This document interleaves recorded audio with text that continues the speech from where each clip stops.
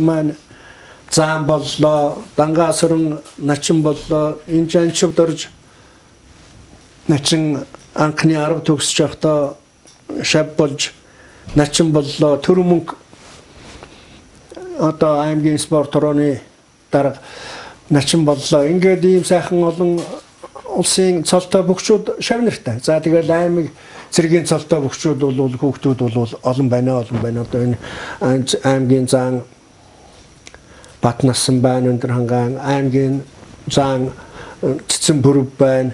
Аймгийн зан Бямбсүрэн байна. За аймгийн начин Дамби сүрэнгээл одоо энэ одоо энэ манай аймгийн Балдорж мөржин төр чин цөмөөрөл одоо шавнар штэ.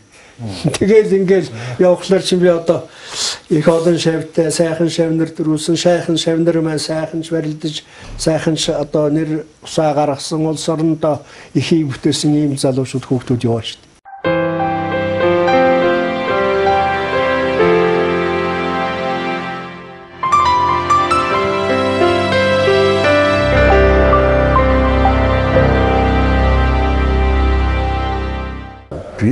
Би 1900 76 онд 1-р ангид хийсэн орсон юм байна. За тэгээд 2-р ангиасаа эхлээд спортод сонирхолтой, дур сонирхолтой хүүхдүүдийг жоо огш бүртгэж аваад тэгээд жоо огшийн анхны секц дугуйланд 2-р ангиасаа эхэлж орж явж яваад тэгээд спортын анхны гараа энэ жоо огштой холбоотой эхэлсэн юм аа. Тэгээд 8-р анги төгсөл одоо үндсэндээ жоо цорин дор жогшин гараар хүмүүжиж спортод хөл тавьж спортын цаанадлахыг заалгаж ингэж хүмүүжиж насаараа спортлоор явж ирлээ дайхан. Тэгээд жоогч чинь тухайн үед намайг 1 2 дугаар ангид байхад бол аймгийн цолтоо сайхан барилддаг ер нь хүүхдүүдэд маш их юм сургая болгоё гэсэн бүтээлээр бөхчүүдийн нэг лөө гэсэн бүтээл санаагаар бол зүтгэдэг юм багш байсан да. Одоо жогинг хийсэн энэ спортод оруулсан хувь нэмэрх юм бол нь хийж баршгүй л дээ. Тийм л нэлээх хөдөлмөрч ард түмний хүүхдэд юм сургая, бодъё, бүх төрүүлээ, спортын амьд гаргая гэсэн бодолтой ийм ажиллаж ирсэн багш байгаа да. Би чинь 1970 онд энэ хантайга гэр бүл болж таван хүүхэдтэй, хоёр банд, гурав охинтой.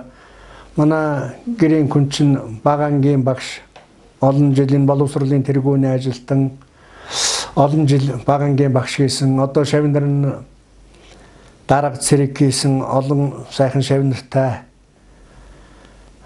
Манай хүн чинь одоо өндөр хангаад 90 ахмад багшийн тоонд орж нэг хэсэг чинь одоо 90 тэргүүний багш гэдэг юугаар одоо энэ төмөн жиргэл багш аа манай захирал байсан улсууд их хүнддэгдэг их одоо сайн багш гэж хүндлэж байдаг юм аа. Тэгээ одоо бид хоёр ингээд 50 гаруй жил 50 аа 47 жил ханилж байна.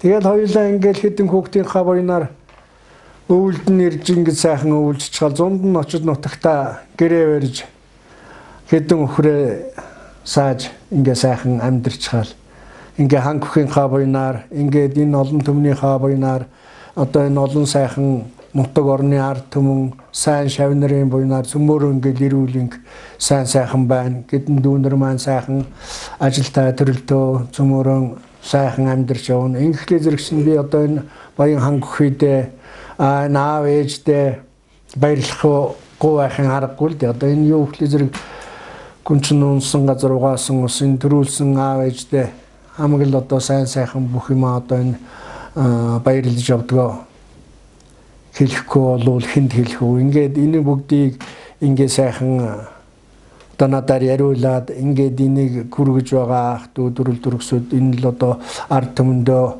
ингэж хүргэж байгаа. Та нарт их баярлж байна энэ танаа телевизийн хамт олон.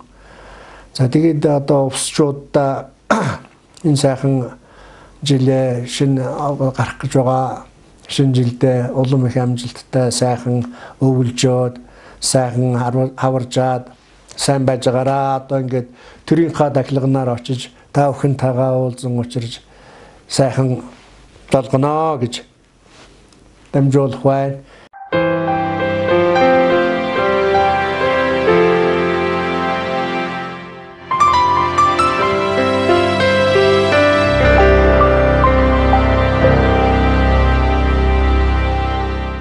Тэр энэ хангахын нутгийн нэг хүмүүс ийм одоо Монголын Диваажин гэж нэрлэдэг байгаа маа гэдэг юм хэлсэн.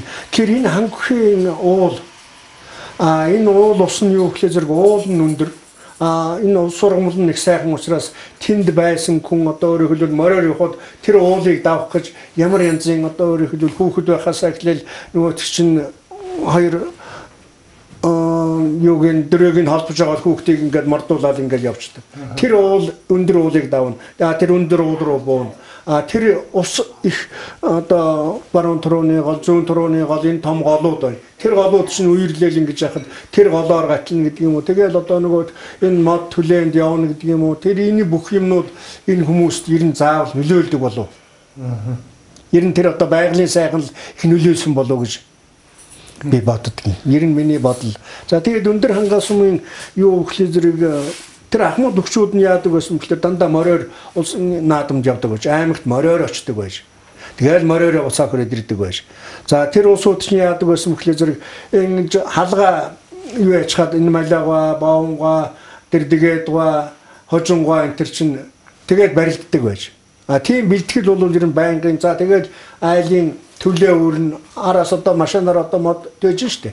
Тэрний оронд тэнд нөгөө модыг тэнд очиж көрөөдөж зүсч бэлдэж хаад тэгээ нөгөө хаалганы мод нэг хаалганы модыг нэг хүн үүрн хоёр хаалганы модыг тэр үүрн гэдэг юм уу ингээд тэгээ хаалганы мод үүрцгаадаг байж. Тэгээд нөгөө ламнараасаа юм авдаг байж. Хоолоо хэлдэг. Таны одоо шат бөхчүүдээс одоо хамгийн их баярлуулж байсан бүхийг одоо нэрлэж гэвэл та яг ямар бүхийг нэрвэх вэ? Залуу байлаа. За тэгээд энэ юу гэхэл зэрэг төв дэлхийн авраг болоод энэ юуг одоо Монгол улсын хаа нэрийг а өндөр хангаа сумын хаа нэрийг одоо энэ улс дэлхийн нийтэд ингээл гаргаад явж байгаа гам болдол их баярлдаг байсан. Яагаад гэвэл тэр үе чинь би залуу юм одоо нэг нарийн мэдэхгүй л дээ. А тэгээд тэгсэн чинь цэрэндэр жогшин шив Увсан аймгийн өндөр хангаа сумын одоо заан гам болд начин гам бол тэнд одоо нөгөө самбын авраг болоотглоо. Самбын дэлхийн авраг болоотглоо гэж инглиш зэрэг чинь зүгээр энэ өдөр нэг юм огшоол байдаг байхгүй. Тэгэхээр зэрэг чинь тэгэл нөгөө тэгэхээр ингэ сонсчхол нөгөө нэг айл дорол гэдэг юм уу юу жамингийн дорол төмөн дэмбрэлийн дорол хой нөгөө хамбаа чинь тэнд авраг болоотгоо ш. Юунаас аваргуулаад гэж гээл. Тэгэхээр зэрэг шинэ миний одоо их л баярлдаг юм тэр л байдаг байсан. Одоо энэ сүүлийн үед увснуудгийн бөхчөө сайхан баярлж байна. Тэр шүгэрж байна, төрүүлж байна. Энэ өдөө юм огсож гин үү? Мэдээч тийм чинь увс гэхлээр зэрэг шинэ энэ одоо одоо энэ барилдаан болно. Барилдаан болохоор зэрэг шинэ за одоо тэр яач тэр ягаад унчуу, баасанко ягаад унчуу, хэн ягаад унчуу гэж ингээд зүгээр баг одоо тэр телевиз рүү орчих шахал ерөөсөө зүтгэж идэг. Тэгээд үздэг юм телевизэр байх юм. Аа тэгээ гараад тэнд очиод нэг хийдэг ажил юу гэхлээр өнөөдөр тийм бөхтэй гэхлээр зэрэг тэнд очдог. За тэгээд нөгөө дуултаа нэг гар бариад нэг ингэж аваад хүрээд ирэхлээр зэрэг нэг хэд оногтой сайхан байх шиг байна.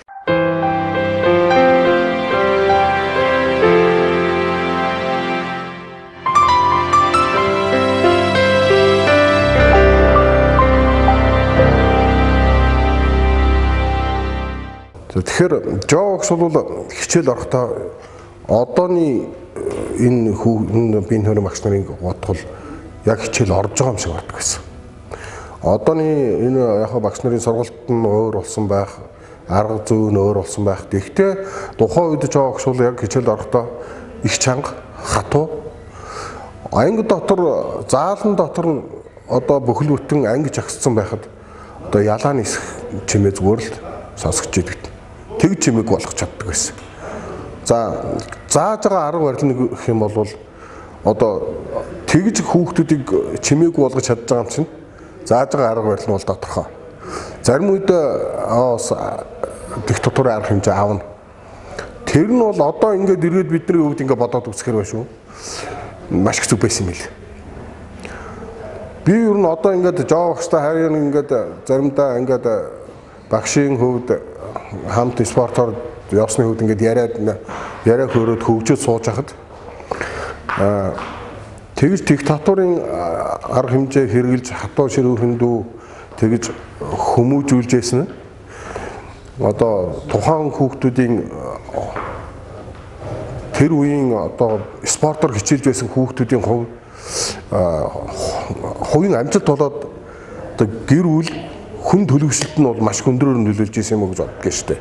Магасаал стайл цаагаавч нөгөө нөгөө төсөл аваач үдий зэрэгтэй хагас 100 жил хамт амьдарч явна да гэдэг. Хагас 100 жил өсөө хагас 100 жил өнгөрчлөө. Ийм л найзууд байлаа. Хүний найз гэж ийм л байд юм. Нэг нь төсөн тэр хүн төсөн 10 жил байгаасаа хийж болчихсон. Тэгээд цэрэгт яваад тэр хамт явсан. Хон сонир төвхтэй. Ийм аюулаас хамгаалахын яамны хүчний нөлөө гэж байлаа. Тэр нь 1986 онд цэрэгт очиж цэрэгт Өөрөөр гараа 3 жил хамтаа болсон. Тэгээд зүйлээ. Тэр хагас 100 жил найзалж байгаа. Хамт яваа. Ийм сайхан найзууд байдаг юм аа.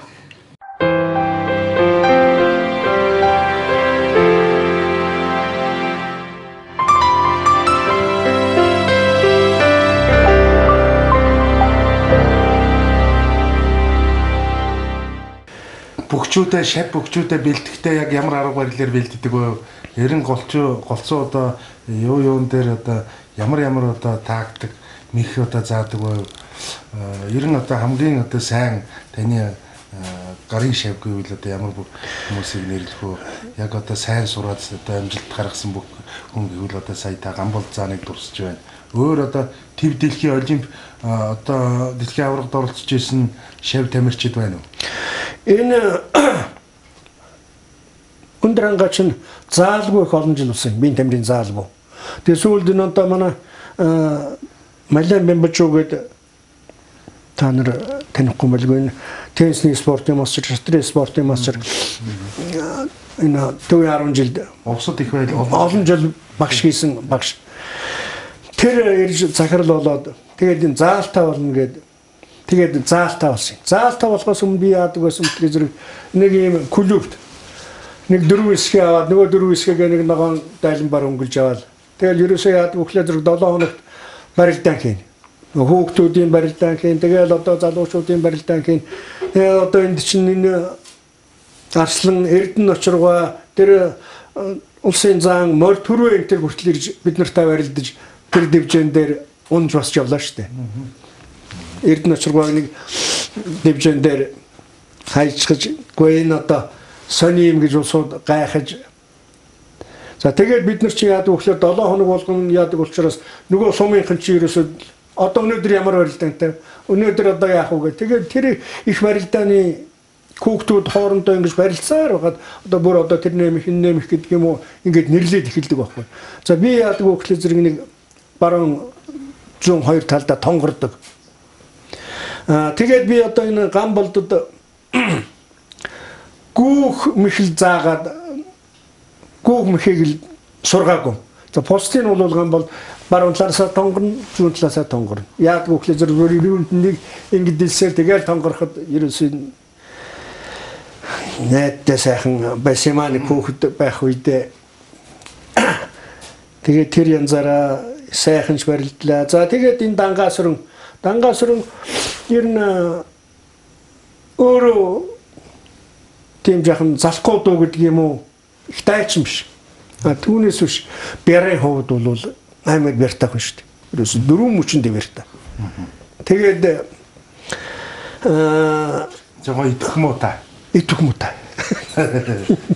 Түүнээс яг юмд төрчих боломж байсан юм аа. Төрийн их баяр наадамд тав даваал тэгэл хайчлаа. Тэгэл одоо ерөөсөө боллоо гэж хэлсэн байлгүй тэгэл тэрнээс хойш ерөөсөө юу ясангүй За шавнырын хувьд одоо тэр кингээд хулаагийн мандалсран гэж хүүхэд байсан.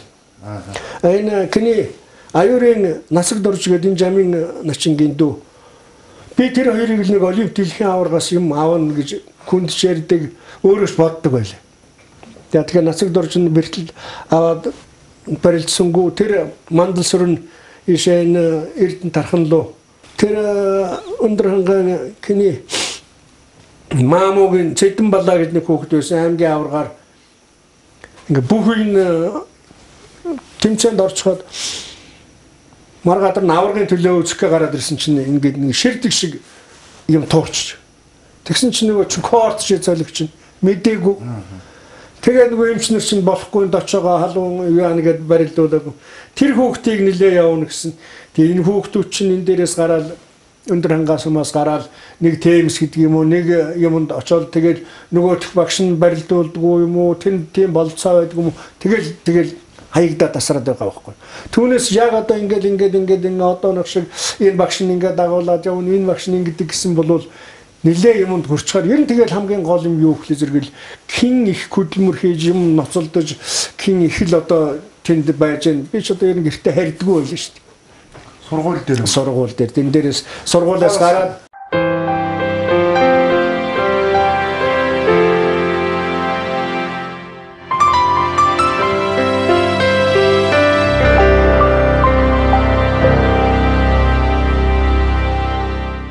бид ахаараа одоо одоо хүртэл бахарж явж байгаа анх маань одоо бид нар хичээл ном сургууль спортоор хичээл ном зааж ахыгаа заасан юугаар одоо бие биеэр хүмүүжил энэ олж авсан юугаар одоо хүртэл амьдарч явж байна. Тэгээ ахыгаа тэр үеийн хамт барилдаж байсан тэр үед сургууль хүмүүжүүлэгч байсан тэр улсууд бүх улсууд нь баяр хүргэж байна ингээ ах маань одоо хооронд ах болж биднийг одоо эдийн зэрэгт хөрч ажил амьдралд нь өргөж ахаасаа их сургамж ахтаа хүртэл зодуулж алгадуулж явуулж ийлээ. Тэрүүгээр нэг хэсэг яадаг байсан бол одоо тэрүүгээр их бахархаж байна. За тэгээ ахтаа одоо маш их баярлж явдаг. Одоо аав минь аавд аав эцэг минь оронд одоо эднийг одоо амьдралд нь өргөж одоо эдийн зэрэгт өргөж